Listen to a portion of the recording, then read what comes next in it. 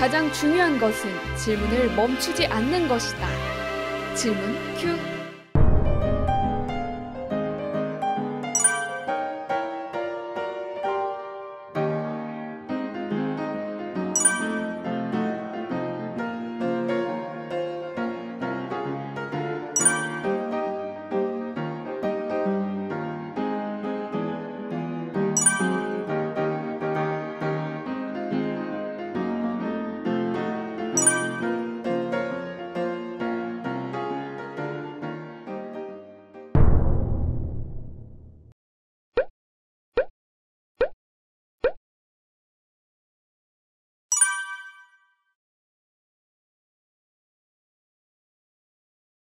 뭐 페이스북뿐만이 아니고요. 많은 이제 인터넷 회사들은 굉장히 많은 생각보다 많은 것들을 볼 수 있어요. 예를 들면은 어, 나는 인터넷에 아무런 글도 남기지 않고 그냥 쓱쓱 이렇게 넘기면서 보기만 하기 때문에 내, 내 정보는 모를 걸 하고 생각하시는 분들이 많은데 이렇게 쓱 내려가다가도 확 지나가는 게 있고 약간 0.5초 정도 살짝 지나가면서 제목을 읽거나 아니면 그보다 몇 초 봤는지까지 모두 기록이 되고 있어요. 그래서 이 사람은 그 지나가긴 했는데 그 와중에서도 어느 쪽에 좀 더 관심이 있었구나. 어떤 거는 클릭하고 어떤 거는 클릭을 하지 않았구나를 보기 때문에요. 사실은 굉장히 무섭죠. 그런데 이 모든 게 알고리즘에 다 들어가 있어서 페이스북과 구글이나 이런 회사들은 그게 이제 개인화를 하고는 있는데 누군가 이렇게 한 사람 한 사람을 지켜보고 있는 게 아니라 그냥 전체적으로 알고리즘이 돌아가면서 그 사람마다 어, 떤 걸 더 주고 말고 할지를 그냥 어, 보고 있기 때문에 누가 감시를 한다는 표현은 어색할 것 같고요. 어쨌든 시스템 자체는 사람을 보고 있습니다. 하지만 누군가 회사 직원이 보고 있지는 않습니다.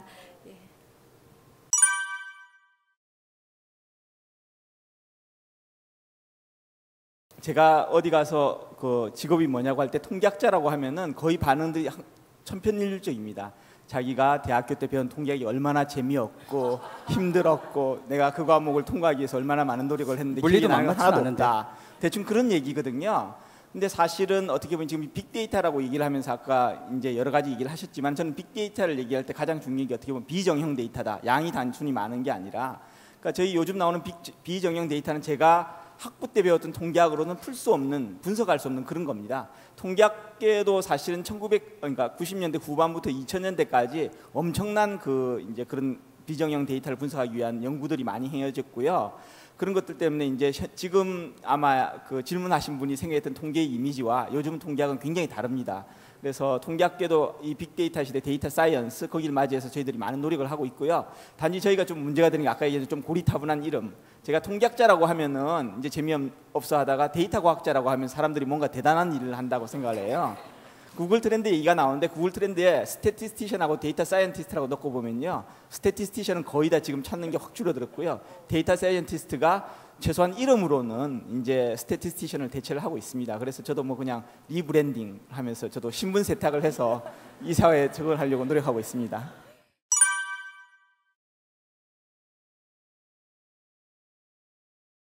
제가 뭐 욕심에 의해서 사실이지만 물리학자가 최고라고 말씀을 드렸는데요.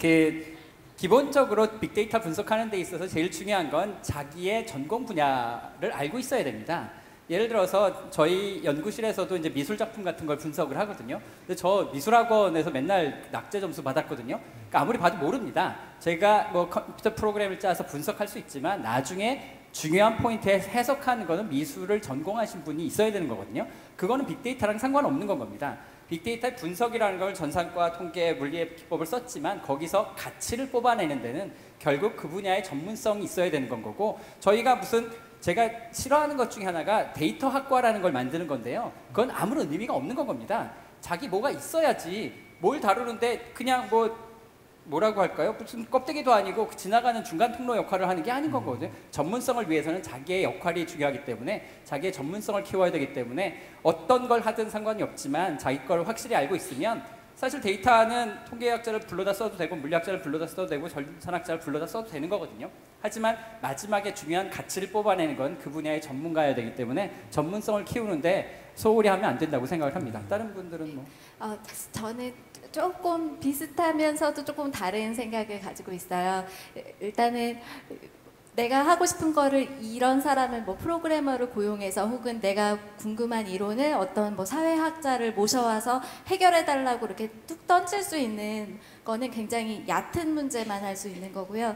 이거를 정말 정말 정말 잘 하고 싶으면은 서로 공통의 언어가 있어야지 가능한 것 같습니다. 그래서 제, 제가 페이스북에서 봤을 때도 그 뭐 사회학과를 나오신 분인데 코드를 이렇게 올려가지고 남들이 쓸 수 있게 자기의 이론을 표현을 해서 남들이 딱 보고서 알 수 있게끔 하고 굉장히 잘하세요. 그러니까 자기 거는 물론 잘하지만 뭔가 같이 공통으로 할 수 있는 언어 그게 어떻게 보면은 기본적인 뭐 통계 tool이 될 수도 있고 그래프를 이해하는 법이 될 수도 있겠지만 공통의 요소가 있었을 때 그리고 그 서로 같이 소통을 할 때 툭 던져서 그냥 해줘 그렇게 가지 않을 때 더 좋은 결과가 나왔던 것 같습니다.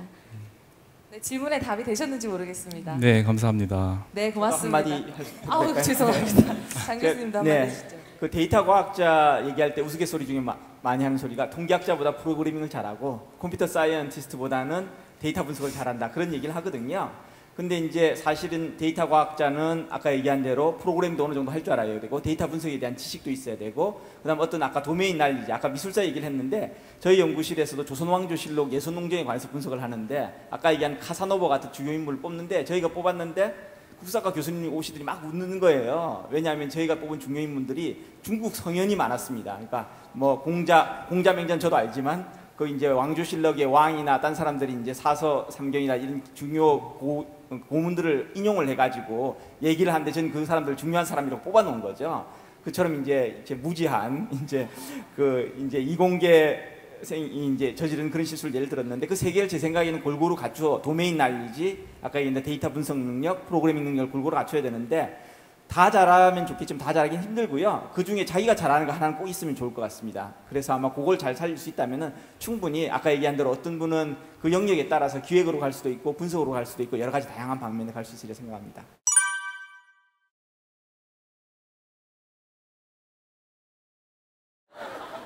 정말 재미난 질문이죠. 어떤 분이 답을 해주시겠습니까?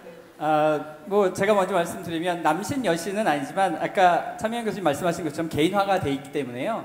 사실 제가 검색하는 거하고 질문하시는 분이 검색하는 거, 뭐 다른 분이 검색할 때마다 검색 결과가 다릅니다. 실제로는 그렇기 때문에 사실 남자가 검색하는 것과 여자가 검색하는 게 다를 수가 있어서 그런 거에 개인화는 돼 있다라고 보시면 되는 건 거고요.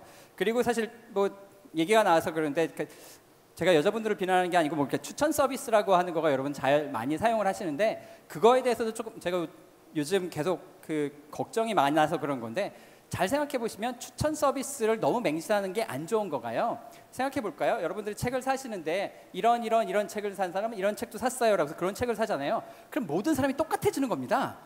그러면 그게 좋은 사회일까요? 다양성이 없어지는 거거든요. 모든 사람이 똑같아지면 아까 말씀드린 것처럼 저희는 너무나 그 재미없는 보링한 너무나 재미없는 사회가 되기 때문에 너무나 추천 서비스에 의지한다는 거예요. 가끔 어쩌다 보면 재미없는 소속책도 골랄 수 있어야 되는 건데 너무나 완벽하게 추천해 준 걸 보고 너무나 감사를 하면서 좋아하는 자세는 조금은 경계를 해야 되는 게 아닌가라고 너무 서비스가 너무나 정확해지기 때문에 그런 건 오히려 조심을 해야 된다고 생각을 합니다.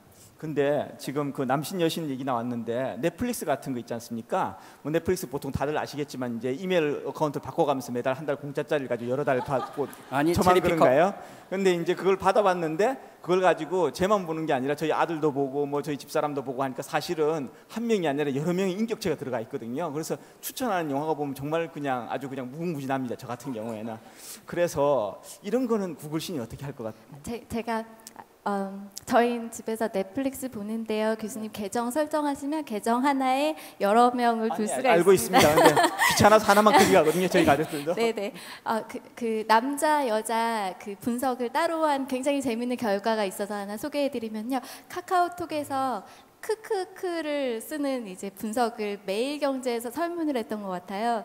그런데 여자들은 크크크를 언제 쓰고 남자들은 크크크를 언제 쓰나 봤더니 여자분들은 크크크 크크 두 번 하는 거를 친한 사이보다는 약간 서먹한 사이에 더 많이 날린대요 크크를 공감이 바로 여자분들 바로 아 그거 흐흐흐 이런 거는 이제 상관없는데 근데 남자분들은 크크를 친한 사이와 서먹한 사이와 동일하게 날렸다고 합니다. 네, 그러니까 그냥 막 쓰는 거죠. 근데 그 그래서 이런 분석을 할 때도 여자 남자가 굉장히 중요한 하나의 요소로 저희는 여기고 분석을 하고 있어요.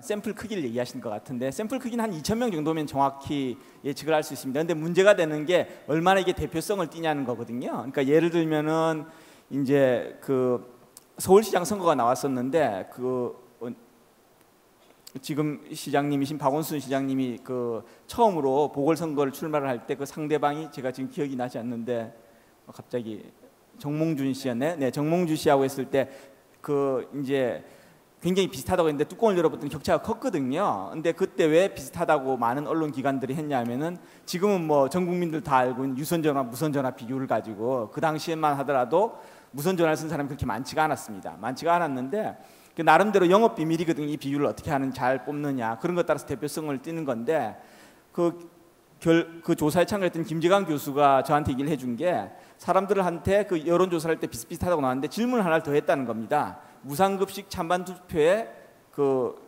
차- 참가를 했느냐? 참가를 했다면 여당 측 지- 그 당시 여당 측 지지자거든요. 근데 이미 그때가 20%가 안 돼서 무산이 됐는데 설문조사를 했는데 갔다고 한 사람이 20% 훨씬 넘는 거예요. 그러니까 이 샘플이 어떤 이유인지는 모르지만 여당 지지자를 굉장히 많이 뽑고 있는 거죠. 그렇기 때문에 그걸 이용을 해서 보정을 해줬더니 실제로 굉장히 격차가 많이 나서 선거 결과는 그 구글신 가라사대는 아니지만 어쨌든 보나 마나도 굉장히 격차가 많이 난다고 김재광 교수가 저한테 얘기를 해줬었거든요. 근데 그 마찬가지로 아까 얘기한 대로 2천 명이나 숫자가 중요한 게 아니라 아까 얘기한 대로 지금 예전 같이 집 전화가 없는 사람이 많기 때문에 유선 무선 전화 비율을 어떻게 할 것인가 그 외에 여러 가지 다양한 이슈들이 있습니다. 그래서 그 숫자 자체가 중요한 게 아니라 어떻게 대표성 있는 사람을 뽑느냐 그런 건데요. 거기에 대해서는 많은 여론조사 기관들이 여러 가지 방법을 통해 가지고 자기 나름대로 노하우를 축적하고 있는 걸로 알고 있는데 어느 정도 바이어스는 다 있는 걸로 알고 있습니다만은 전반적으로는 대부분 무난한 결과를 제시하고 있다고 생각합니다.